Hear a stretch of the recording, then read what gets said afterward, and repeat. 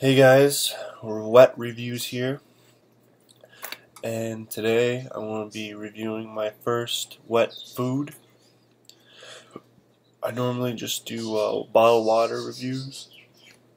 I'm trying to branch out, you know, branch out like a tree, and get some wet foods reviewed. Because uh, I decided, since my name is Wet Reviews, I just have to review wet stuff. It doesn't have to be bottled water. Bottled water would be my main thing though. But uh it's mostly gonna be just wet things. Um, but they have to be naturally wet. I'm not just gonna like dunk a toy in water, spin on it, and review a toy. Squirt guns though, maybe. I don't know. Anyways.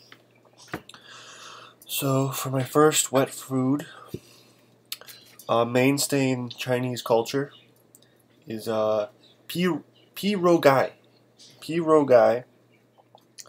Uh, is a noodle filled with uh, smashed French fries.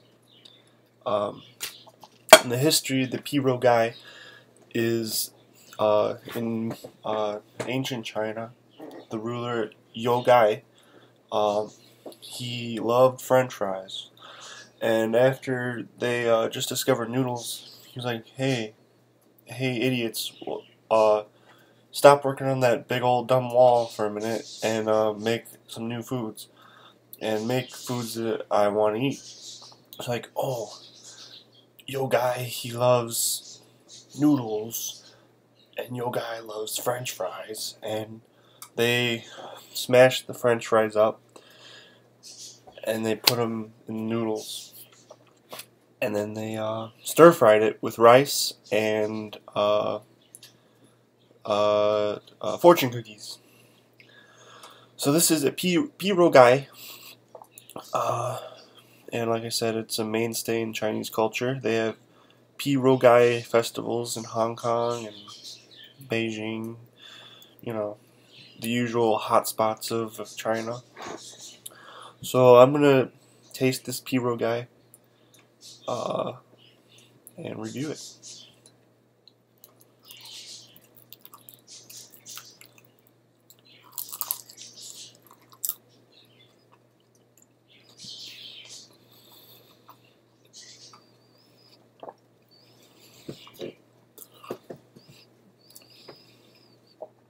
Yeah. You can really taste the Chinese culture in that food. Um, hmm. You can really taste um, the history of of um, of Asia in that food. Um, I give it about a seven out of ten. I don't know, eight out of ten. Uh, it could be a little wetter. Um, the wetness brings down the score. It's a little dry. Uh, dry pi guy. Um, but as far as taste goes, it was good. It was really good. I'm probably gonna need another one right here.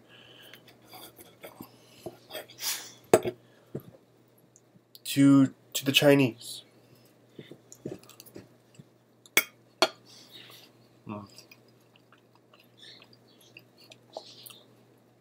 Yum. Yum. Alright guys, that was my first wet food review. Hope you enjoyed it. Keep it wet.